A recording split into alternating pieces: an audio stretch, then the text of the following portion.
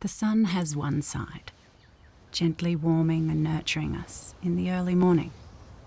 But during the day, it has another side, when UV can make it a damaging and dangerous force that dramatically increases your risk of skin cancer at UV levels of 3 or above.